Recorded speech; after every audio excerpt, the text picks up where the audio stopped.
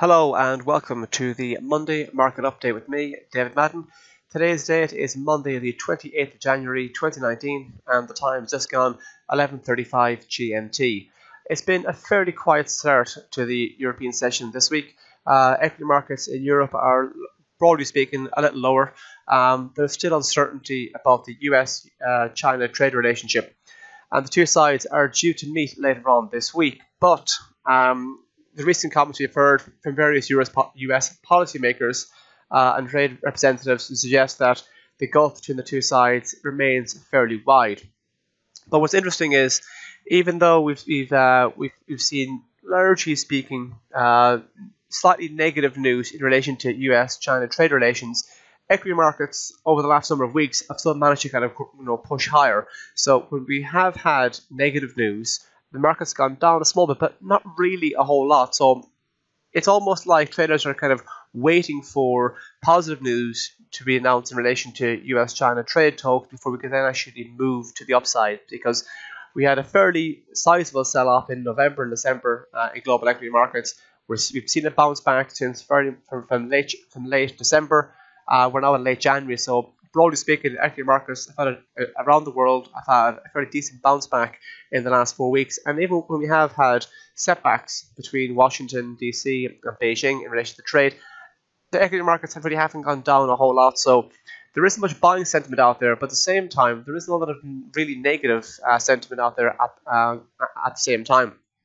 Keep in mind, we had a fairly dovish update from Mario Draghi of the European Central Bank at the back end of last week. They've made it very clear that they're willing to support the eurozone economy in turn and willing to adjust um, the policy, monetary policy, if they f- if they feel they need to. So that was an indication that yes, we know things aren't great in the eurozone in terms of economic indicators, but we're willing to do something about it should we see see the need to do so. And that's all to give again a, a, a bit of an assistance to uh, to eurozone equity markets in, in the last few sessions.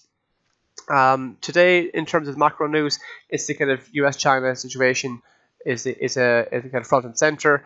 We've had a few corporate stories uh, over the over the weekend.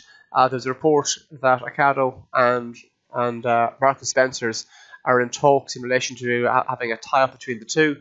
Uh, M&S, the retailer, um, they have a fairly limited uh, reach in terms of delivery service. Uh, it's very in terms it's very selective, whereas there's there, there, there's a report uh, which neither side have confirmed, but there's a report nonetheless that the two sides are in talks in relation to striking a deal. Ocado, of course, uh, being the kind of online de- delivery service, and in the past year or a couple of years, Ocado have been going around the world striking new partnerships with you know companies in the UK, mainland Europe, and also North America. So that there's talk that we could have um, a, a, a, deal that, uh, between them and M&S.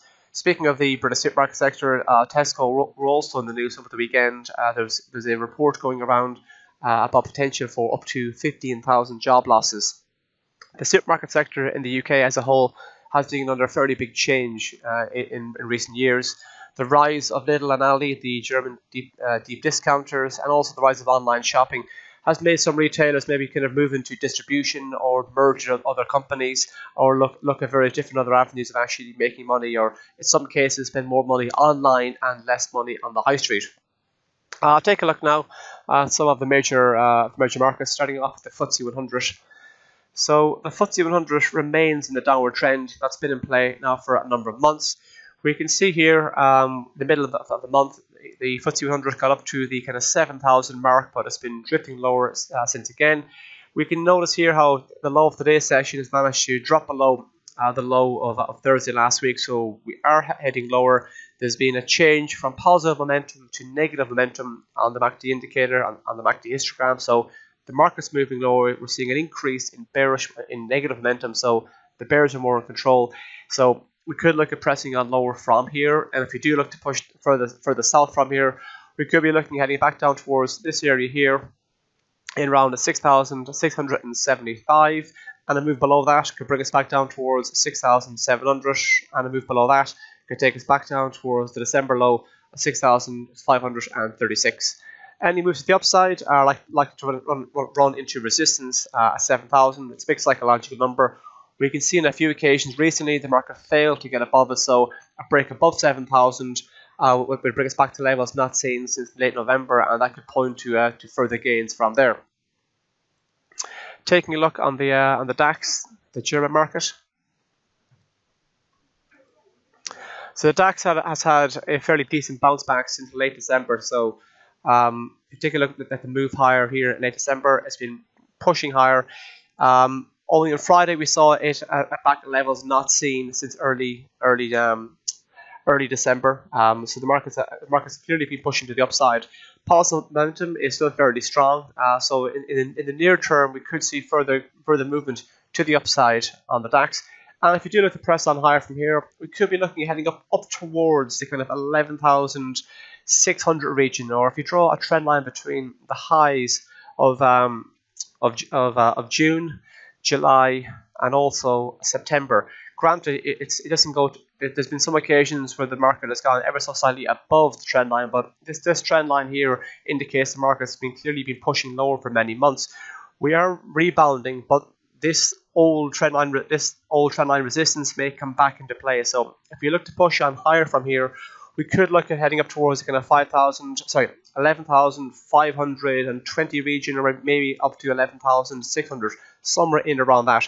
Bearing in mind the wider wider trend is still down, very much to the downside, so it might be the case that we could run, run into resistance at this trend line before potentially turning lower again. But in the near in the near term, we could push on higher here potentially another two or three other points from here.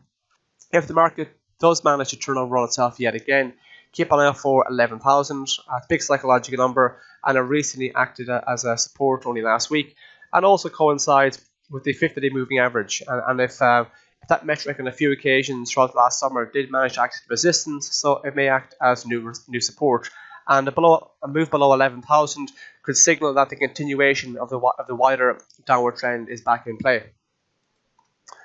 I'll take a look now at the U.S. markets, starting off with the S&P 500.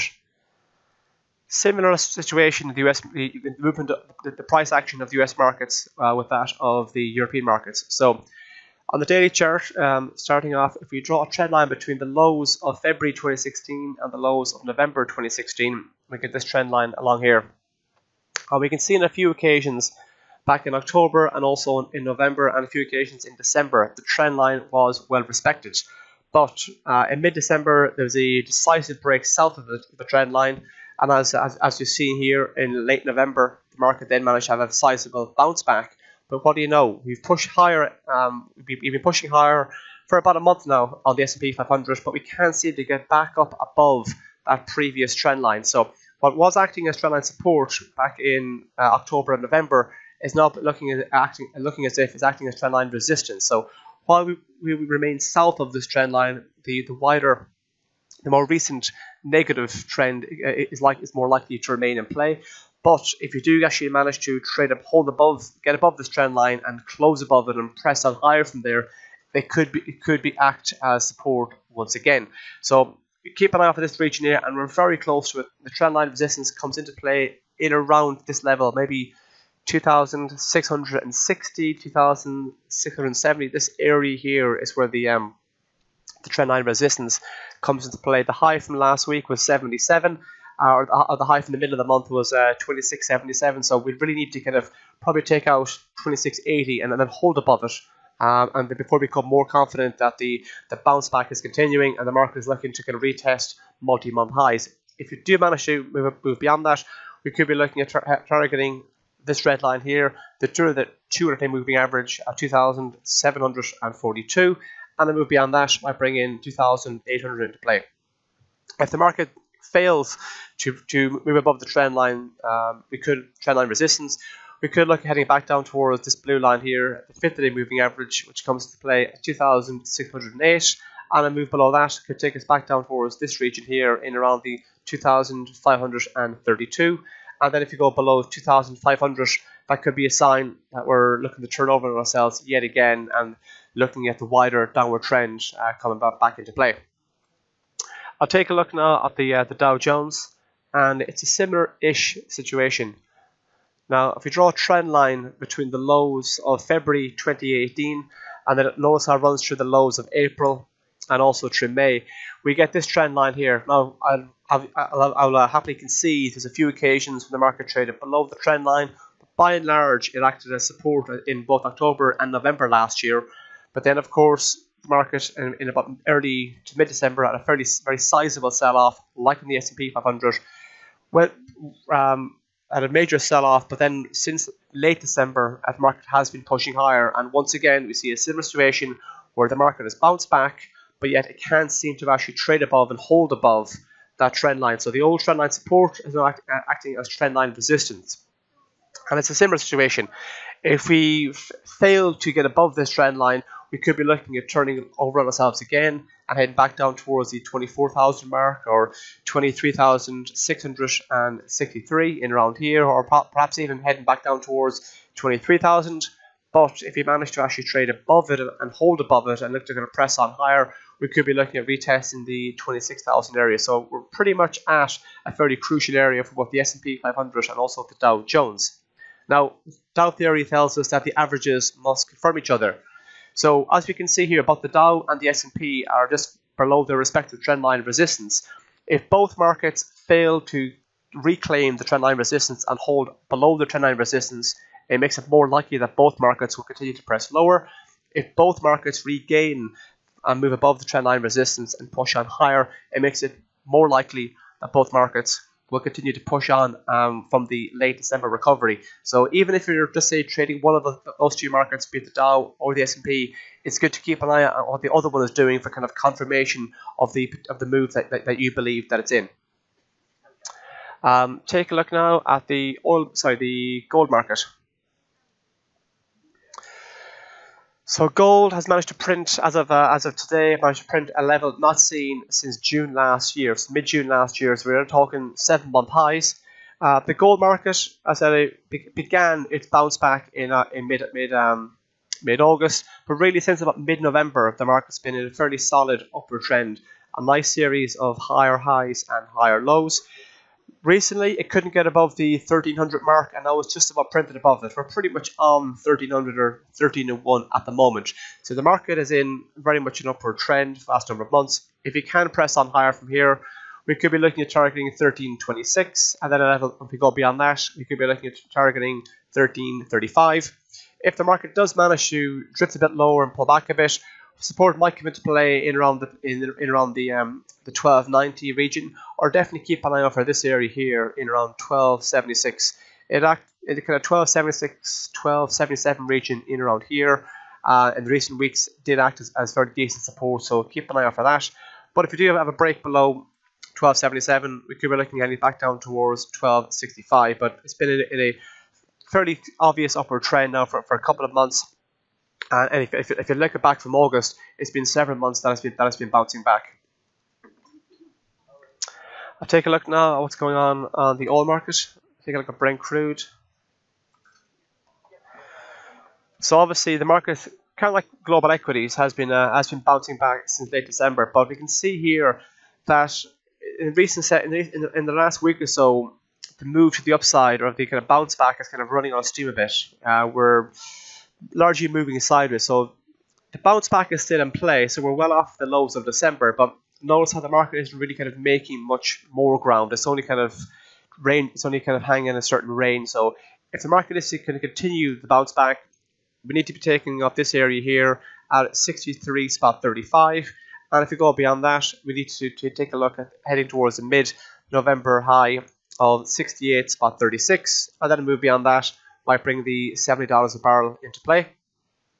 Um, if the market does manage to kind of drop back below the 50-day moving average here, which comes into play at 59 spot 27, we could be looking heading back down towards this region here in at 57 spot 50, and a move below that could take us back down towards 55.